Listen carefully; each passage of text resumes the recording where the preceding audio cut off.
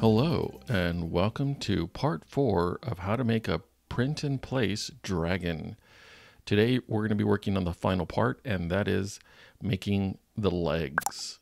So let's see. Let's take a look at what at least one other person did in their articulated dragon.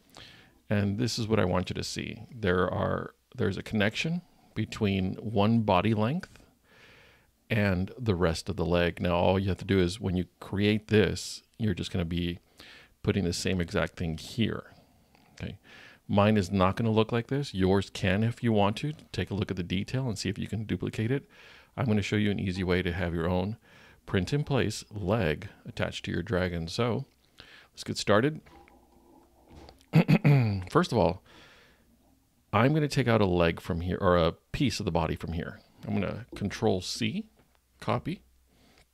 And then I'm going to open up a new design. And then I'm going to hit Control V to paste it there. All right, so there it is. Now, the leg, I'm going to design it around this piece.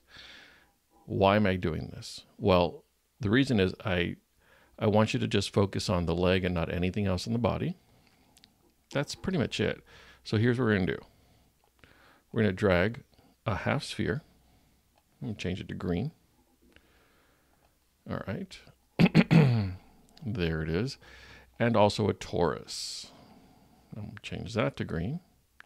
I'm going to change this to 90 degrees. I'm going to change the angle here, rotate it 90 degrees, and we're going to put it right here, but I'm going to move it up.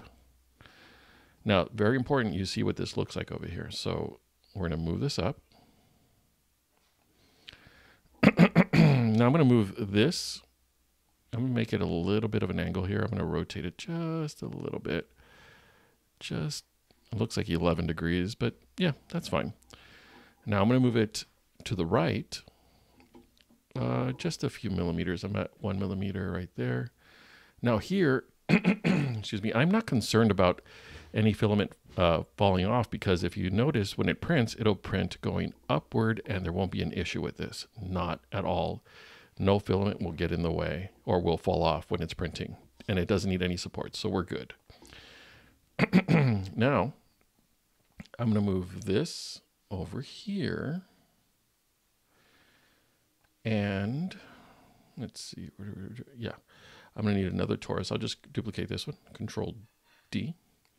I'll move it here and I'm going to rotate it. From this angle, I'm just going to go this way. 90. Actually, I'm going to go past 90. Let me zoom in here. I can get a better view of this just a little bit because right now it's, I think it's off by 11 degrees. I'm going to go 5. Okay, let me zoom out a little bit and then rotate it so you can see. Now this, if I were to print it just like this, it would not, it would, you know, fall down. So I'm going to click the letter D while this is selected, click the letter D and it goes down. Then I'm going to rotate it. When I did that, it made it go up here, but it also made under made it go underneath the bed here. So I'm going to click the letter D. And there we go.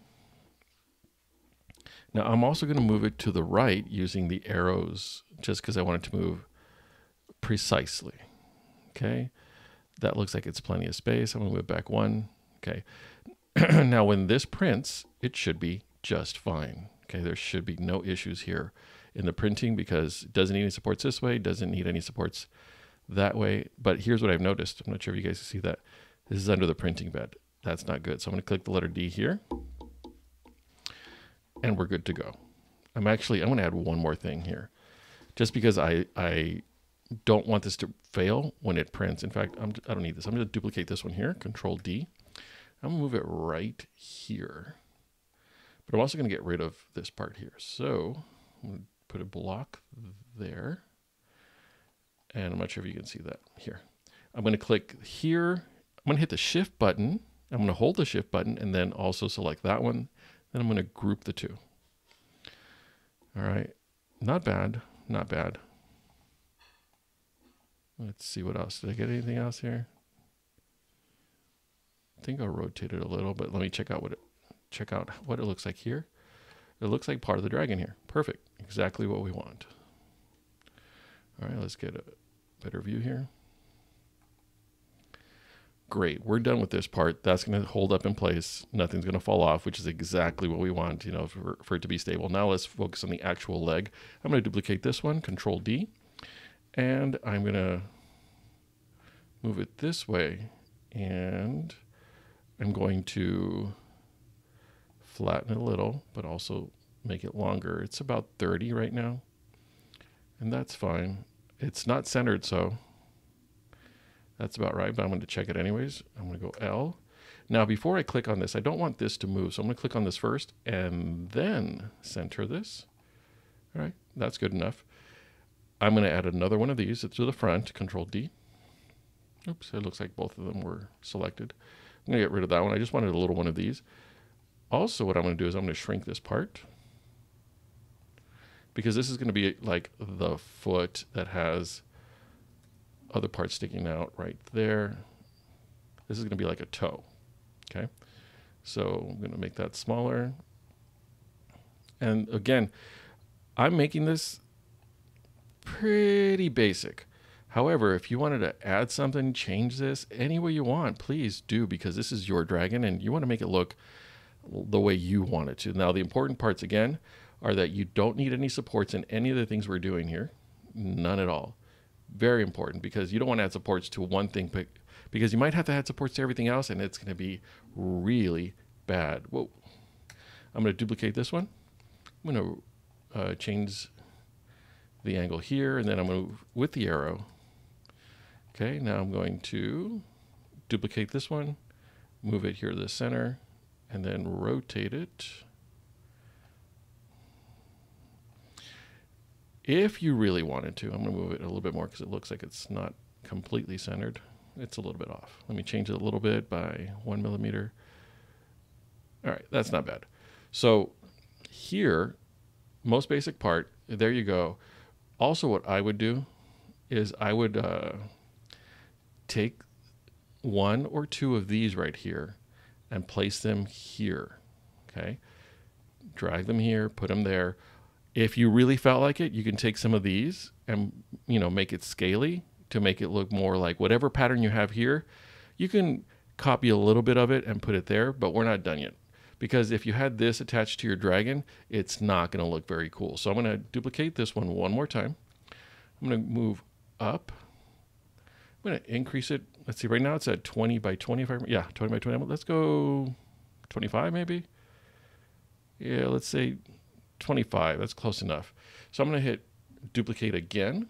Whoa, not what I want. Duplicate again, Control D. I want to make that one a hole, and I'm going to move this down. Let's say, um, uh, let's say 1.5. Also, while we're here, I'm going to shrink this. Okay, I'm going to hit Shift, and then I'm going to move this one up. What I want is uh, a layer. Let's see if I can see underneath here. And I'm not sure if it's centered, so I'm going to center it. Mm, uh, there you go. I'm going to center it, and I'm going to make sure I just select these two, just those two. And I'm going to align. And looks like they're already perfectly aligned. I'm good with this. So I'm going to group these two, click the group button.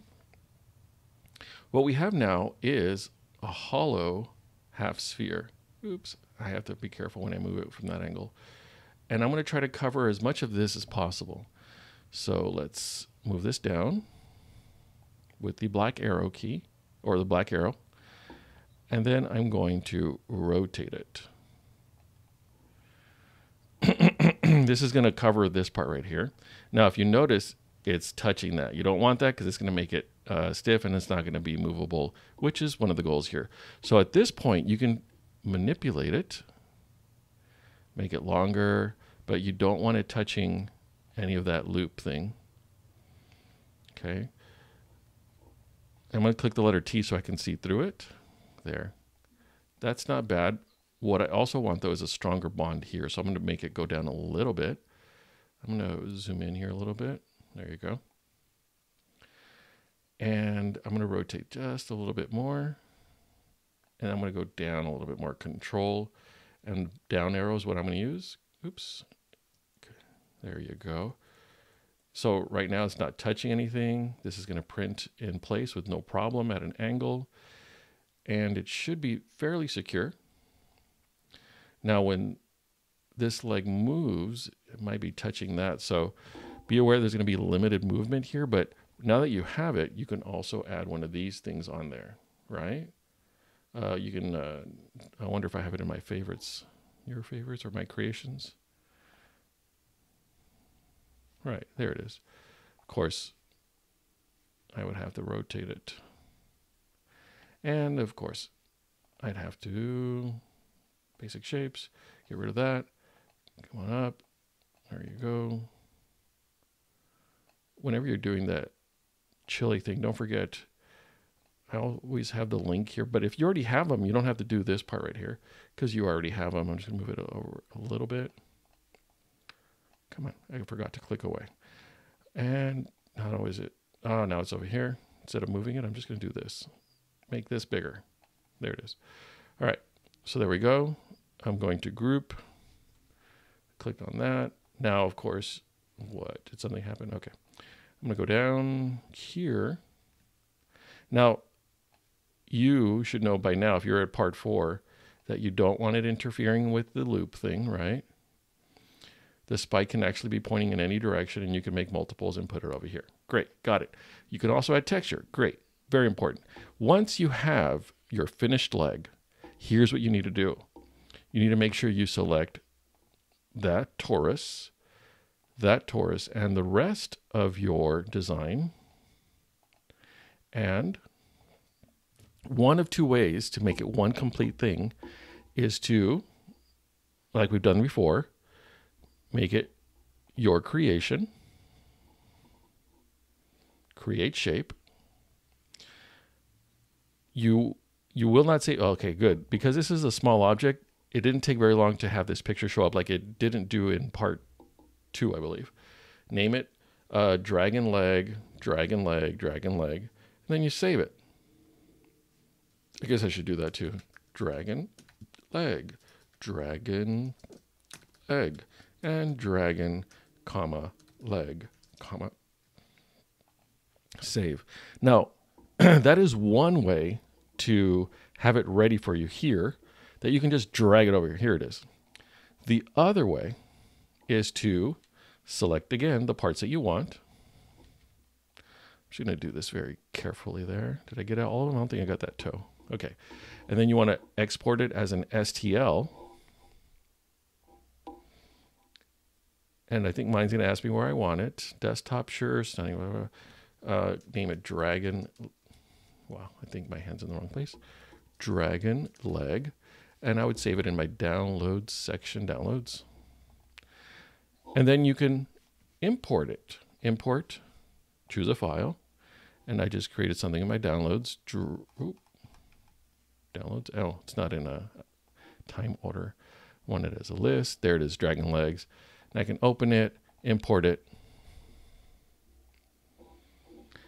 Now, the reason you want to do this is because Tinkercad will freeze up if it has to deal with multiple parts. It's the same exact thing, only this, it, Tinkercad considers this one part, and it makes it a lot easier to export your final dragon because at this point, you are done. You can just remove your leg here. Well, I'm just going to remove all of it. Hopefully it works. I got all of them. Did I get all of them? That one. I think the toes need to be secured. And let's try it. Okay, good. So when you have your final leg, you want to put it in here. And then you want to duplicate it. And then you use the mirror tool. Click it here. And then drag it over here on this side. Again, you're checking the back to make sure everything is good. And now you can put your dragon together and you can you're ready to export it. Now, if you are exporting your dragon and you notice that Tinkercad is not actually letting you export it, then you probably did not follow the step that said to make this into one piece, like I just showed you with the legs. This should all be one piece. The head of the dragon should be one piece. All of these should be one piece each. That way, Tinkercad is not working with thousands of pieces, but just maybe less than a hundred. and it'll be more likely to export just the way you want it and you'll have your own very own your very own dragon to customize and print as many times as you like unless of course you're in my class you can print it once correctly. If it fails you can print it again. All right. Hope you've enjoyed this and i can't wait to see what kind of dragons you make